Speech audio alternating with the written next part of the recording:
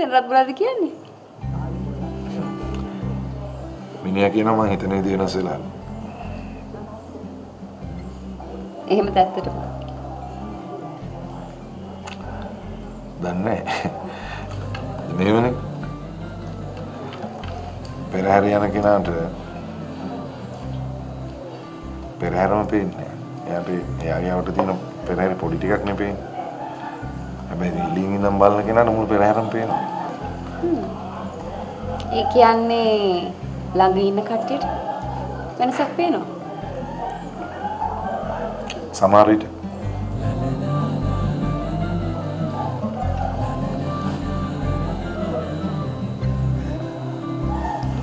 ඒ මොකද? ඇයි ඇයි ඇයි මොකද ඉනාය? ඇයි? නෑ ඔයා හරි පරිස්සමට උත්තර දෙන්නේ. හරියට නිකන් මේ මං කටුතරක් ගන්නවා වගේ. බය වෙන්න එපා. නෑ නෑ එහෙමවත් ප්‍රශ්නයක් නෑ. ඔයා ඕන දෙයක් අහන්න. මන් දෙන උත්තර වලට ඔයා කැමති නමක් දාගන්න.